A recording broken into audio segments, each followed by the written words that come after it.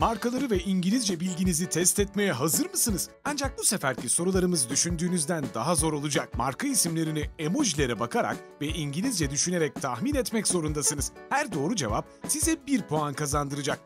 Sonuçlarınız ise videonun sonunda olacak. Eminim bunu benden daha çabuk anlayacaksınız.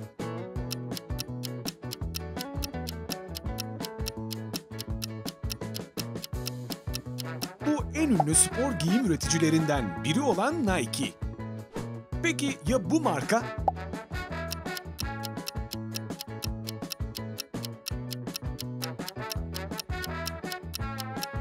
Eh, bu kolay bir soruydu. Pizza Hut. Peki ya bu dünyaca ünlü marka?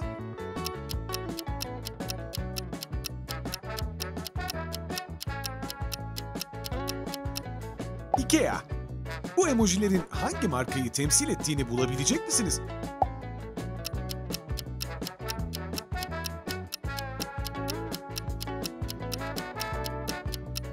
Bu marka PayPal.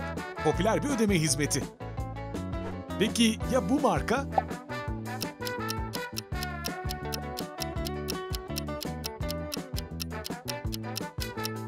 Bulabildiniz mi? Cevap Toshiba. Bunu hızlıca çözeceğinizden eminim.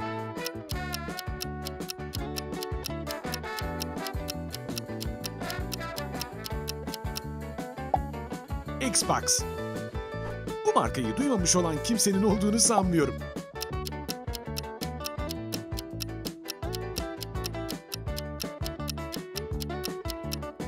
Cevap Nescafe. Bazı insanlar hayatlarını bu marka olmadan düşünemiyorlar.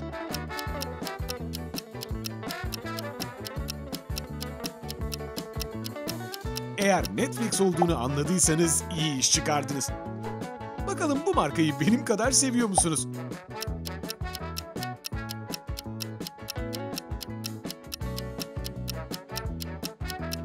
Bu Domino's Pizza. Eğer Domino's Pizza'ya sık sık gidiyorsanız bu markaya ihtiyacınız olabilir.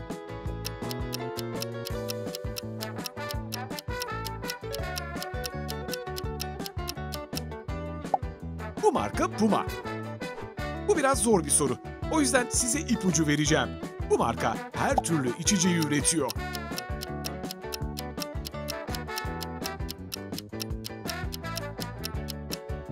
Cevap Monster Energy. İşte yine bir içecek sorusuyla karşınızdayız.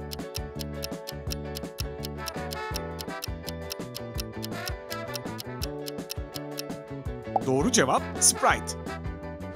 Bu soruyu da hızlıca cevaplayacağınıza eminim.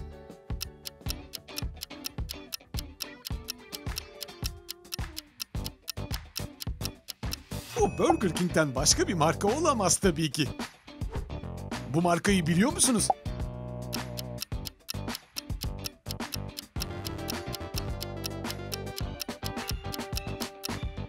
Bu marka Whirlpool'du. Bu popüler atıştırmalığın çok fazla seveni var.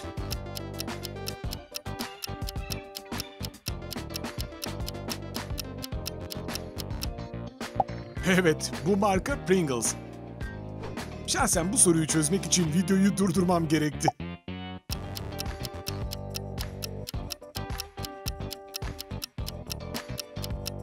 Bu marka Colgate'ti. Siyah coal yani kömür ve gate yani kapı kelimelerinden oluşuyor. Bu marka en kısa isme sahip olan markalardan biri.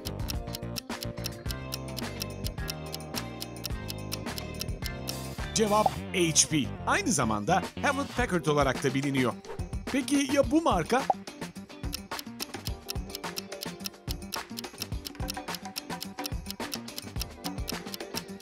Bu marka yaklaşık 3 milyar kullanıcısı olan Facebook'tu.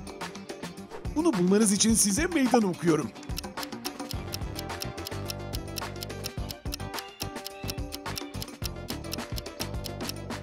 Evet, cevap Canon. Peki ya bu marka?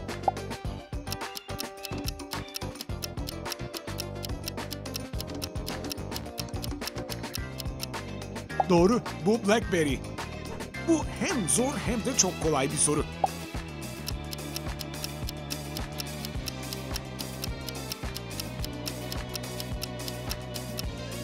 Cevap Seat, bir araba üreticisi. Bu marka internetle alakalı. Durun hemen teşekkür etmeyin.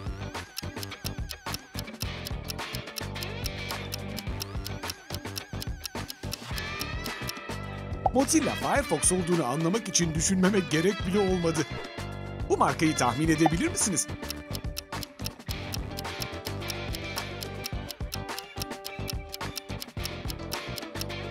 Cevap Shell, uluslararası bir enerji şirketi.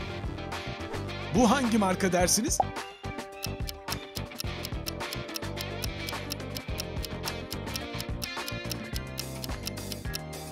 Tabii ki Red Bull.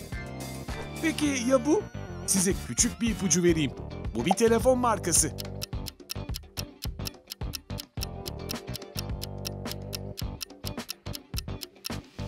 Bu Nokia. Hepsini sesli okuyun. Hayır yani no, anahtar yani key ve evet yani ya.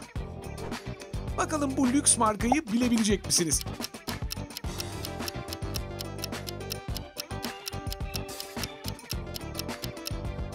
Emojiler hep birlikte Lamborghini'yi oluşturuyor.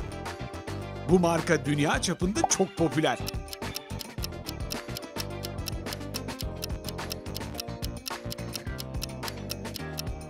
Cevap Audi'ydi.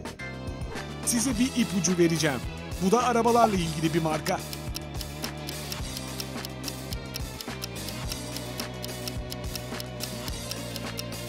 Smart markasından bahsediyorum. Şimdi bakalım ev işleriyle ne kadar sık uğraşıyormuşsunuz.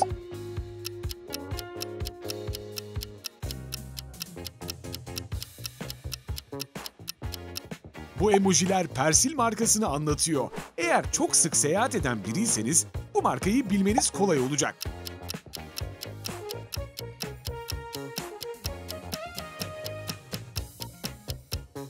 Cevap Boeing. Biraz zor bir soru ama cevabı bulmaya çalışın.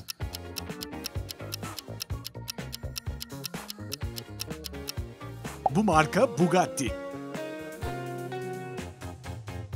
Peki ya bu marka?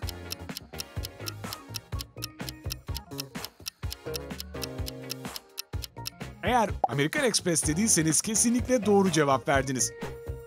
Bakalım bunu ne kadar hızlı bulabileceksiniz.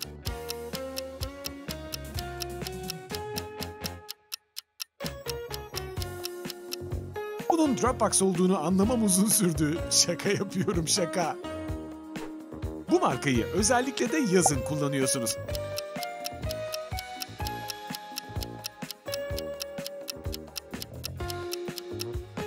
Cevap Ray-Ban. Bulabilmiş miydiniz? Hmm, bu ne olabilir dersiniz?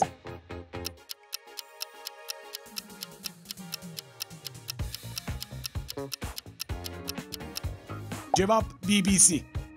Bu marka sizi kesinlikle sıcak tutacak.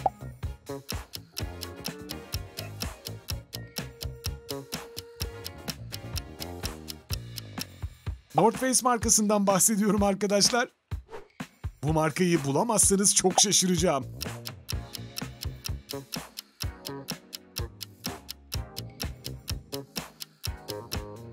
Tabii ki YouTube. Sıradaki soru şimdiye kadarki en zoru.